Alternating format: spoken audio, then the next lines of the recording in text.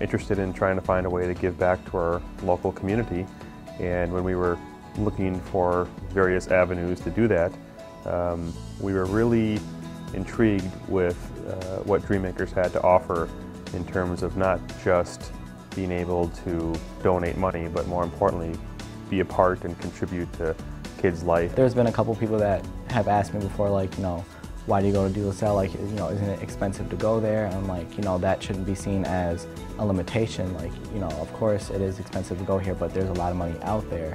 And there are a lot of people actually willing to help.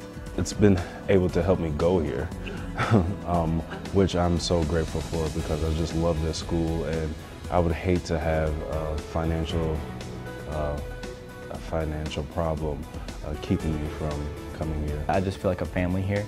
Um, you know, the staff and the teachers, they really do care. And like, you know, if you're not at school or if they see something that's wrong, they, you know, they ask you questions like, you know, is everything all right? And, you know, I just really feel like a family. Like everyone here is, you know, for here for the same thing, you know, good education. This school has been such a, a impact on my life that I'll never forget it. And I'll never forget the DreamMakers for giving me that scholarship to attend this place. The, the future is the young people. And uh, we uh, invest in the future. And we, we wouldn't do what we, what we do for a living and working for our clients if we didn't have enthusiasm about the future. They've actually uh, got me a couple tickets like Timberwolves games, and they also wrote a recommendation for me for St. Thomas. They've came to a few of my concerts, um, and sometimes uh, they'll do, uh, we'll go to a basketball game or something like that. So that's, that was really cool. I also got to know the other recipients really well. Yeah, so we have a friendship. They reflect what uh, we'd like to see, uh, what we appreciate, and that is this is the American dream. You know, you work hard, you try hard, and there's a future for anyone who tries in this country.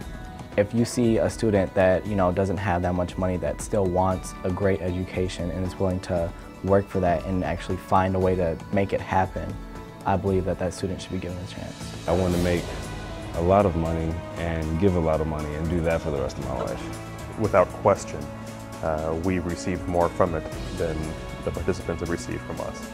Uh, it, it, has been um, a wonderful addition to our lives.